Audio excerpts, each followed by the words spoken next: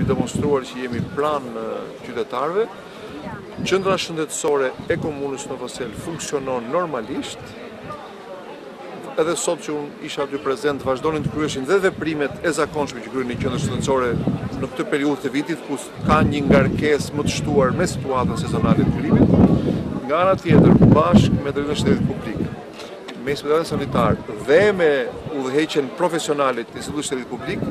po ndjekim nga afër të gjithë zinxhirin e mundshëm të përhapjes dhe transmetimit të sëmundjeve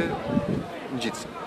Për fat mirë deri tash nuk kemi asnjë rast të konstatuar. Sigurisht kemi marrë masat për të filluar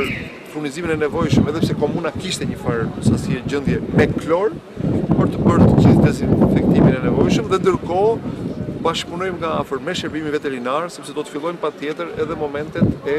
groposjes së bagëtive të ngordhura.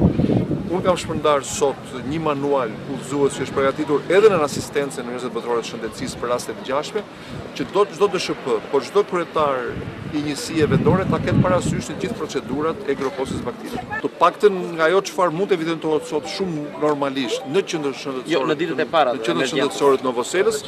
jemi në një situatë normale në kuptimin që qendra shëndetësore funksionon, mjekët infermierët janë aty,